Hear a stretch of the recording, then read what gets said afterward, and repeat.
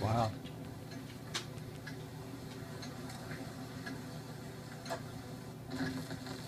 My darling Raymond, though you can't be here for the holidays, we'll always be together in my heart. It's very clear our love is here to stay.